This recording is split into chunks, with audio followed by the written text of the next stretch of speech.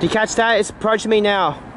Classic B61, the Bernie Baker. Here comes the sh- V61 in the Streamliner 2016 livery with um, GM10 Classic on the AK train. Classic B61, the Bernie Baker with classic GM10 on the AK cars passing through North Shore Express. Yeah, he's over there on the platform. It was my first time. nem is kapta lenni.